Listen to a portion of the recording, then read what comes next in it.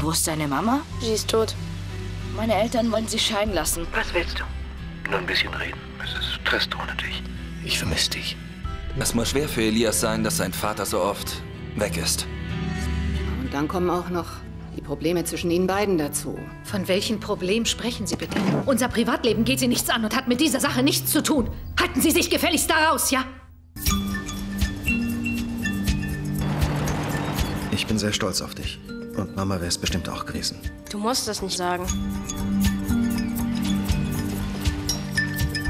Vielleicht solltest du Mama ja Blumen schenken.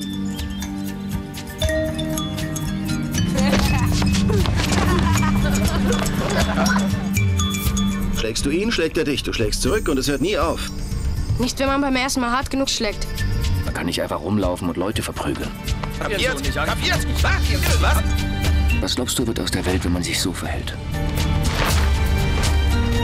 Du bist so ein großer Lügner! Ich weiß nicht, was ich machen soll, damit das wieder in Ordnung kommt.